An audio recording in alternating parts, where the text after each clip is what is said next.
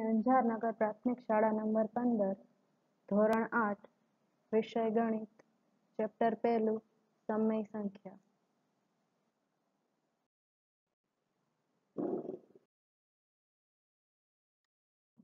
સૌથી પહેલા આપણે સમજીએ પ્રાકૃતિક સંખ્યાઓ. પ્રાકૃતિક સંખ્યાઓને નેચરલ નંબર્સ પણ કહેવામાં આવે છે અને એનથી ઓળખાય છે.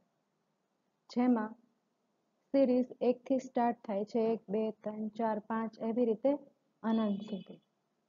ત્યારબાદ પૂર્ણ સંખ્યા પૂર્ણ સંખ્યાને હોલ નંબર્સ પણ કહેવામાં આવે છે, જેને ડબલ્યુ તરીકે દર્શાવી શકાય છે. જેમાં સિરીઝ શૂન્યથી સ્ટાર્ટ થાય છે, શૂન્ય, એક, બે, ત્રણ, ચાર પાંચથી અનંત સુધી. ત્યારબાદ પૂર્ણ સંખ્યા જેને ઇન્ટીજર નંબર્સ તરીકે પણ ઓળખવામાં આવે છે. અને આઈ દ્વારા દર્શાવી શકાય છે. જેમાં ઋણ પૂર્ણાંક ધન પૂર્ણાંક અને શૂન્ય સંખ્યાઓનો સમાવેશ થાય છે, પરંતુ અપૂર્ણાંક સંખ્યાઓનો સમાવેશ થતો નથી. ત્યારબાદ સમય સંખ્યાઓ. સમય સંખ્યાઓમાં ઋણ પૂર્ણાંક ધન પૂર્ણાંક અપૂર્ણાંક અને શૂન્ય. ઇન શોર્ટમાં બધી જ સંખ્યાઓનો સમાવેશ સમય સંખ્યામાં થઈ જાય છે. સમય સંખ્યાઓ છે તેમાં સૌપ્રથમ આપણે ક્રમના ગુણધર્મ સમજીએ. ક્રમનો ગુણધર્મ એટલે શું? તો કે સંખ્યાઓનો ક્રમ બદલવાથી તેના જવાબમાં કોઈ પણ જાતનો બદલાવ આવવો જોઈએ નહીં. જવાબ જે પહેલા હતો એનું જ રહેવો જોઈએ.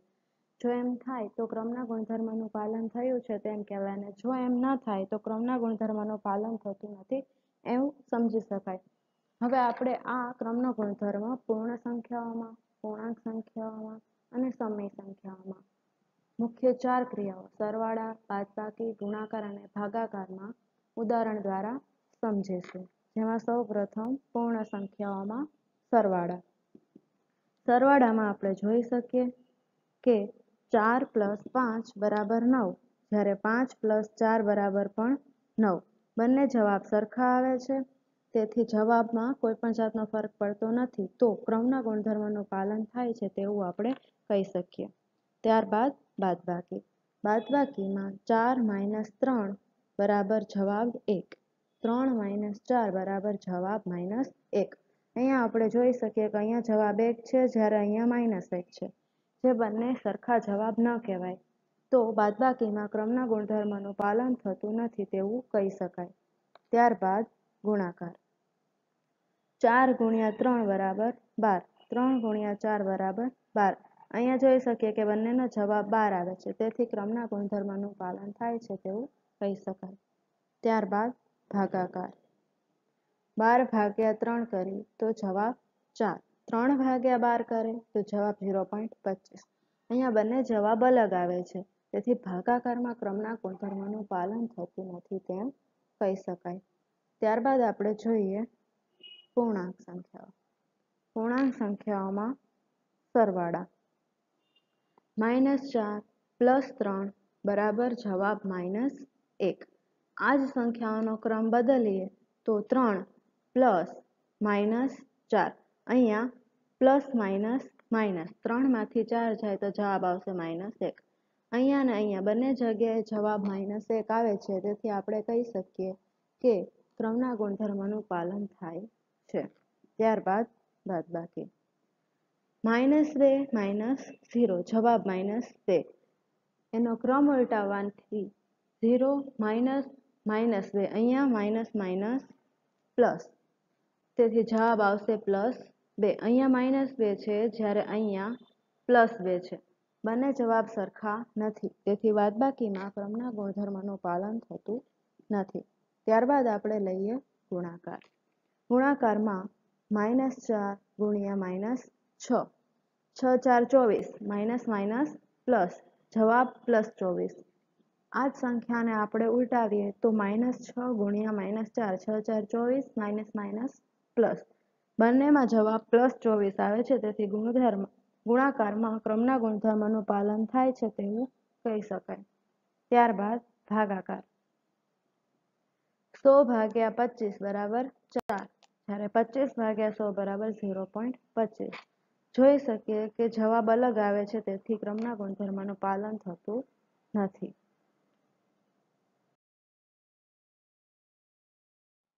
પૂર્ણ અને પૂર્ણાંક સંખ્યાઓ સમજ્યા બાદ હવે આપણે જોઈશું સમય સંખ્યાઓ. જેમાં સૌ પ્રથમ આપણે લઈશું સરવાળો. સરવાળામાં રકમ માઇનસ બેના છેદમાં ત્રણ વત્તા પાંચના છેદમાં સાત. અહીંયા આપણે જોઈ શકીએ કે છેદ સરખો ન હોવાથી આપણે સરવાળાની ક્રિયા કરી શકીએ નહીં. તેથી સૌપ્રથમ આપણે લસા લઈએ સાત ત્રણ એકવીસ લસા. સાત ચૌદ, ત્રણ પાંચ પંદર. માઇનસ ચૌદ વત્તા પંદર. અહીંયા પ્લસ માઇનસ માઇનસ તેથી જવાબ આવશે એક. મોટાની નિશાની પ્લસ, તેથી પ્લસ એકના છેદમાં એકવીસ. હવે આ જ સંખ્યાને આપણે ઉલટાવીએ તો. પાંચના છેદમાં સાત પ્લસ માઇનસ બેના છેદમાં ત્રણ અહીંયા પ્લસ માઇનસ માઇનસ. તેથી પંદર માઇનસ ચૌદ છેદમાં એકવીસ બરાબર એકના છેદમાં એકવીસ. અહીંયા પહેલામાં જવાબ આવશે એકના છેદમાં એકવીસ, જ્યારે બીજી ક્રિયામાં પણ જવાબ આવશે એકના છેદમાં એકવીસ. બંને જવાબ સરખા હોવાથી આપણે એવું કહી શકીએ કે ક્રમના ગુણધર્મનું પાલન થાય છે. ત્યારબાદ આપણે લઈએ બાદ બાકીની પ્રક્રિયા. જેમાં રકમ છે માઇનસ ત્રણના છેદમાં આઠ માઇનસ એકના છેદમાં આઠ. અહીંયા છેદ છે જે સરખા હોવાથી આપણે લસા લેવાની કોઈ આવશ્યકતા રહેતી નથી. માઇનસ માઇનસ પ્લસ, તેથી ત્રણ ને એક, ચાર. મોટાની નિશાની, તેથી જવાબ આવશે માઇનસ ચારના છેદમાં આઠ. હવે આ સંખ્યાને આપણે ઉલટાવી અને ગણતરી કરીએ તો એકના છેદમાં આઠ માઇનસ માઇનસ ત્રણના છેદમાં આઠ. અહીંયા માઇનસ માઇનસ પ્લસ, તેથી ત્રણને એક ચાર, છેદમાં આઠના આઠ. અહીંયા માઇનસ ચારના છેદમાં આઠ આવે છે, જ્યારે અહીંયા પ્લસ ચારના છેદમાં આઠ આવે છે. તેથી એક ધન પૂર્ણાંક સંખ્યા છે અને એક ઋણ. તેથી આપણે એવું કહી શકીએ કે બાદબાકીમાં પાલન થતું નથી.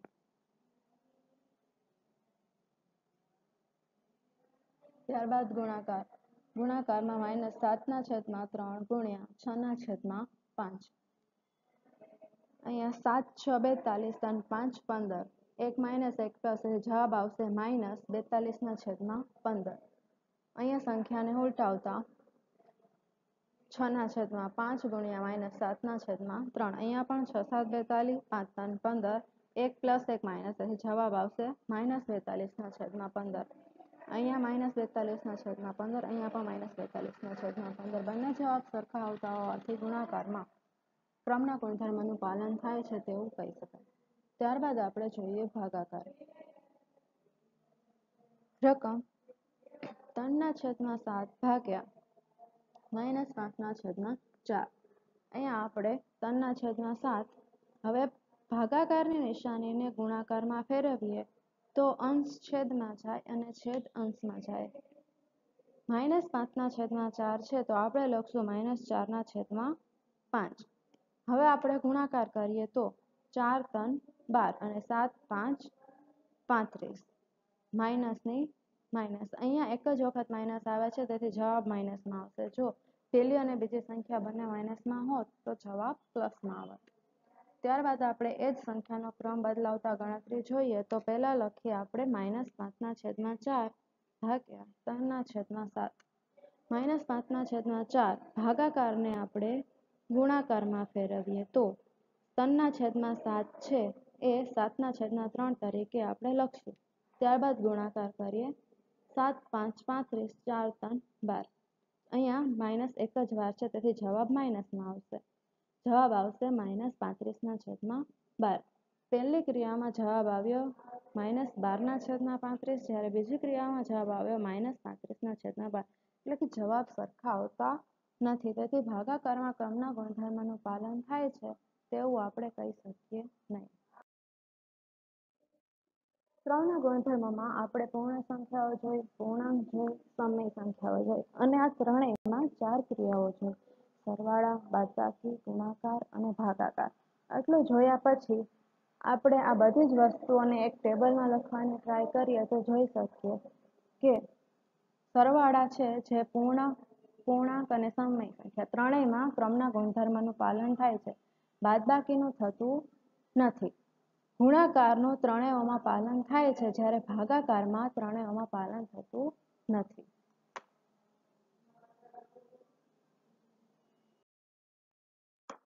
ક્રમનો નિયમ સમજ્યા બાદ હવે સૌપ્રથમ આપણે સમજીશું જૂથનો નિયમ.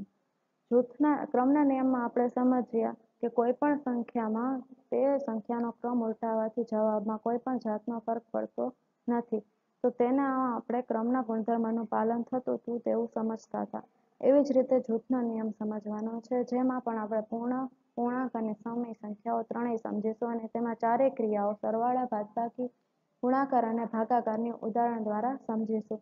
આમાં પણ આપણે કોઈ પણ રકમ લઈ તેનું જૂથ બનાવીશું અને તે જૂથ બદલવાથી જો તેના જવાબમાં કોઈ ફરક ના પડે તો જૂથના નિયમનું પાલન થાય છે અને જો જવાબ અલગ આવે તો જૂથના નિયમનું પાલન થતું નથી તેવું ગણાય.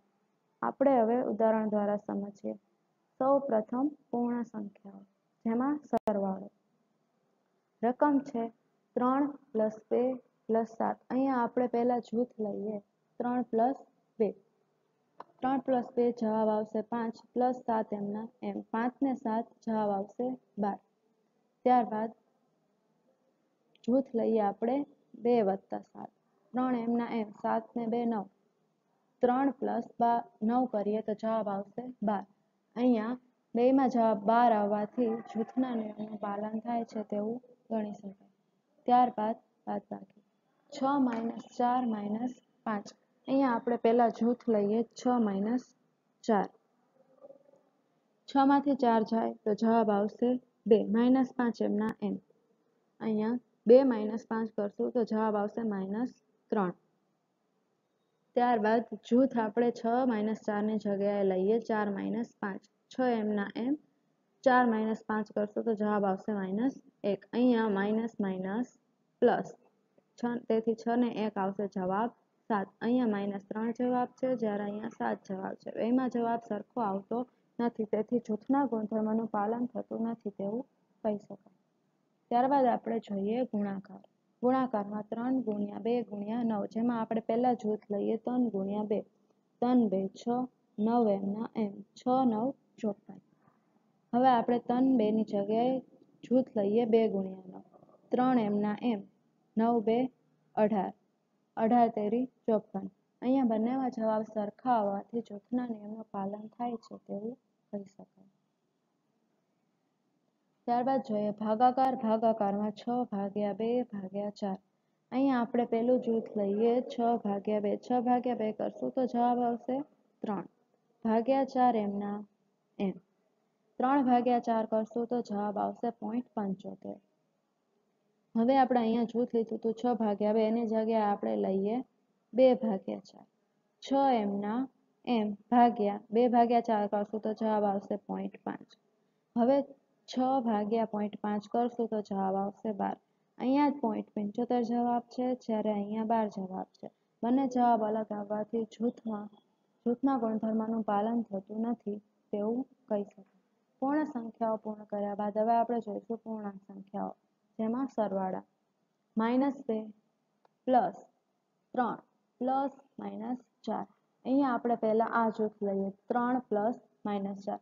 અહીંયા પ્લસ માઇનસ માઇનસ તેથી ત્રણ માઇનસ ચાર કરશો તો જવાબ આવશે માઇનસ એક. માઇનસ બે પ્લસ માઇનસ એક. અહીંયા પ્લસ માઇનસ માઇનસ માઇનસ બે અને માઇનસ એક. આગળ જતા માઇનસ માઇનસ પ્લસ. તેથી જવાબ આવશે બે ને એક ત્રણ. મોટાની નિશાની એટલા માટે માઇનસ ત્યારબાદ જૂથ બદલાવ્યું. તો માઇનસ બે પ્લસ ત્રણ. અહીંયા પ્લસ માઇનસ માઇનસ ત્રણમાંથી બે જાય એટલે જવાબ આવશે એક અને મોટાની નિશાની છે તેથી પ્લસ. પ્લસના પ્લસ અને માઇનસ ચારના માઇનસ ચાર. અહીંયા પ્લસ માઇનસ માઇનસ તેથી એક માઇનસ ચાર કરશું તો જવાબ આવશે માઇનસ ત્રણ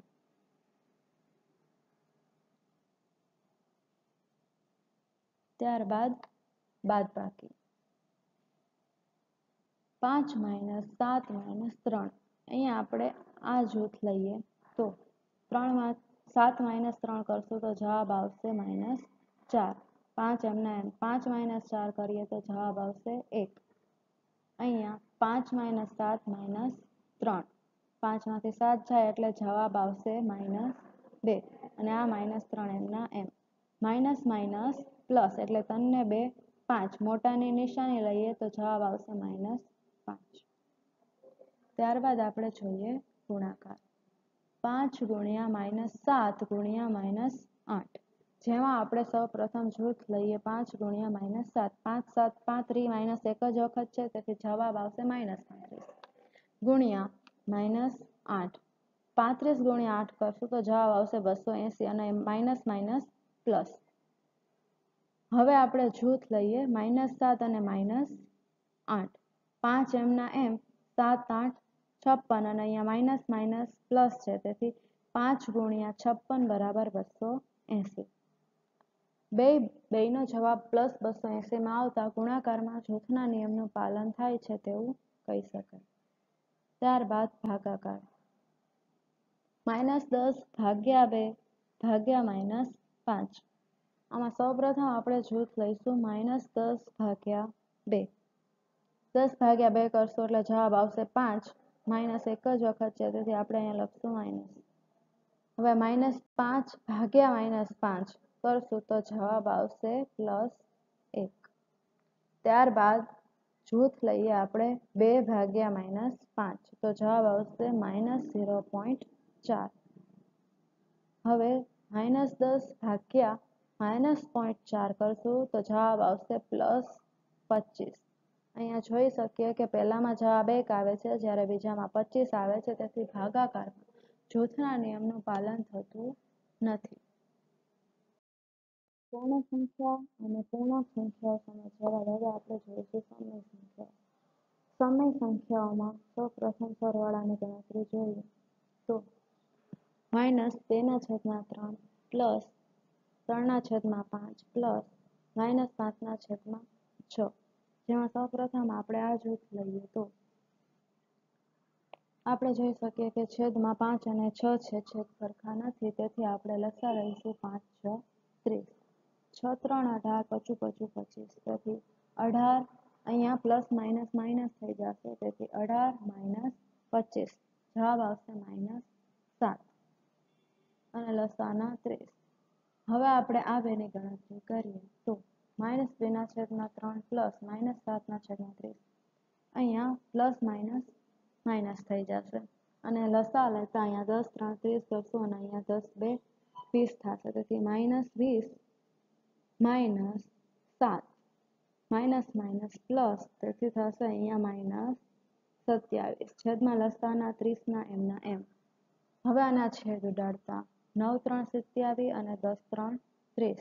જવાબ આવશે માઇનસ નવના છેદમાં દસ. હવે આપણે આ જ રકમમાં જૂથ બદલાવી અને ગણતરી કરીએ તો. જૂથ લઈએ માઇનસ બેના છેદમાં ત્રણ, પ્લસ ત્રણના છેદમાં પાંચ, પ્લસ માઇનસ પાંચના છેદમાં ત્રણ.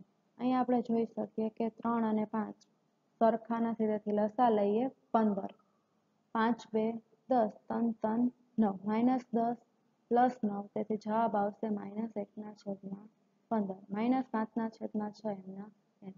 હવે આપણે આ બંનેની ગણતરી કરીએ તો જોઈએ કે છેદ સરખા ફરીથી લસા લઈએ તો લસા લઈશું ત્રીસ. અહીંયા પંદર બે ત્રીસ, અહીંયા બે એક બે. અહીંયા છ પાંત્રીસ અહીંયા પચું પચું પચીસ. માઇનસ બે, માઇનસ પચીસ, એટલે જવાબ આવશે માઇનસ સત્યાવીસના છેદમાં ત્રીસ. ને છેદ ઉડાડતા જવાબ મળશે માઇનસ નવના છેદમાં દસ. પહેલો અને બીજો જવાબ બંને સરખા હોવાથી સમય સંખ્યાઓમાં સરવાળામાં જૂથના ગુણધર્મનું પાલન થાય છે તેવી કહી શકીએ. ત્યારબાદ જોઈએ આપણે બાદબાકી રકમ માઇનસ બેના છેદમાં ત્રણ માઇનસ માઇનસ ચારના છેદમાં પાંચ માઇનસ એકના છેદમાં બે. જેમાં સૌપ્રથમ આપણે આ જૂથની ગણતરી કરીએ. અહીંયા છેદમાં પાંચ અને બે હોવાથી લસા લઈશું. દસ, બે, ચાર, આઠ, પાંચ, એક, પાંચ. Minus minus, plus. તેથી આઠ ને પાંચ જવાબ આવશે તેર. દસના દસ. માઇનસ બેના છેદમાં ત્રણ એમના એમ. હવે આપણે આ બંનેની ગણતરી કરીએ. તો દસ અને છેદમાં ત્રણ છે. તેથી લસા લઈશું ત્રીસ. અહીંયા દસ, ત્રણ, ત્રીસ. ઓગણીસના છેદમાં ત્રીસ. હવે આપણે એને જ ગણતરી જૂથ બદલાવીને કરીએ તો. અહીંયા છેદમાં ત્રણ છે અને પાંચ છે. જવાબ આવશે પંદર. અહીંયા માઇનસ માઇનસ પ્લસ પાંચ બે દસ, ત્રણ ચાર બાર. માઇનસ દસ પ્લસ બાર એટલે જવાબ આવશે માઇનસ બેના, સોરી, માઇનસ બેના છેદમાં પંદર. માઇનસ એકના છેદમાં બે. હવે આની ગણતરી કરીએ તો એકમાં પંદર અને એકમાં બે છે, તેથી લસા આવશે ત્રીસ. બે બે, ચાર અને પંદર એક, પંદર. ચાર માઇનસ પંદર, તેથી જવાબ આવશે માઇનસ અગિયારના છેદમાં ત્રીસ. અહીંયા ઓગણીસના છેદમાં ત્રીસ છે, જ્યારે અહીંયા જવાબ માઇનસ અગિયારના છેદમાં ત્રીસ છે, તેથી જવાબ સરખો આવતો નથી, તો બાદબાકીમાં જૂથના ગુણધર્મનું પાલન થતું નથી તેવું કહી શકાય. ત્યારબાદ ગુણાકાર જોઈએ. માઇનસ સાતના છેદમાં ત્રણ ગુણ્યા પાંચના છેદમાં ચાર, ગુણ્યા બેના છેદમાં નવ. અહીંયા જૂથની ગણતરી કરીએ તો પાંચ બે દસ નવ ચાર છત્રીસ. માઇનસ સાતના છેદમાં ત્રણ એમના એમ. હવે સાત સાત દસ સિત્તેર, છત્રીસ ત્રણ એકસો ને આઠ. માઇનસ એક વખત છે એટલા માટે માઇનસ સિત્તેરના છેદમાં એકસો આઠ. છેદ ઉડાડતા પાંત્રીસ બે સિત્તેર અને ચોપન બે એકસો ને આઠ. તેથી જવાબ આવશે માઇનસ પાંત્રીસના છેદમાં ચોપન. આ જ ગણતરી આપણે જૂથ બદલાવીને જોઈએ તો સાત, પાંચ, પાંત્રીસ, ત્રણ, ચાર, બાર ગુણ્યા બેના નવ એમના એમ. અહીંયા આપણે જોઈએ પાંત્રીસ બે સિત્તેર બાર નવ એકસો ને આઠ માઇનસના માઇનસ અહીંયા પણ છેદ ઉડાડતા જવાબ આવશે માઇનસ પાંત્રીસના છેદમાં ચોપન. બંને જવાબ સરખા હોવાથી ગુણાકારમાં પાલન થાય છે તેવું કહી શકાય. ત્યારબાદ આપણે જોઈએ ભાગાકાર. જેમાં સૌ પ્રથમ આપણે રકમ એકના છેદમાં બે ભાગ્યા માઇનસ એકના છેદમાં ત્રણ ભાગ્યા બેના છેદમાં પાંચ. જેમાં આપણે આ જૂથની પહેલા ગણતરી જોઈએ. તો એકના છેદમાં ત્રણ. હવે ભાગાકારની નિશાનીને આપણે ગુણાકારમાં લઈ અને ગણતરી કરીએ તો અંશ છેદમાં જાય અને છેદ અંશમાં જાય. તેથી બેના છેદમાં પાંચની જગ્યાએ આપણે લખશું પાંચના છેદમાં બે. હવે આપણે આનો બેનો ગુણાકાર કરીએ તો પાંચ એક પાંચ ત્રણ બે છ. એક જ વખત માઇનસ છે, તેથી જવાબ આવશે માઇનસ પાંચના છેદમાં છ. એકના છેદમાં બે છે એ એમના એમ આપણે અહીંયા લઈએ. હવે આ બેની ગણતરી કરીએ. અહીંયા ફરીથી ગુણાકાર ભાગાકારની નિશાનીને ગુણાકારમાં ફેરવશું તો અંશ છેદમાં જશે અને છેદ અંશમાં જશે. તેથી પાંચના છેદમાં છ છે, જેને આપણે માઇનસ છના છેદમાં પાંચ લખશું. હવે આ બેનો ગુણાકાર કરીએ. તો છ, એક છ, પાંચ, બે, દસ અને એના છેદ ઉડાડશું તો આપણે જવાબ મળશે માઇનસ ત્રણના છેદમાં પાંચ. હવે આપણે જૂથ બદલાવી અને ગણતરી કરીએ.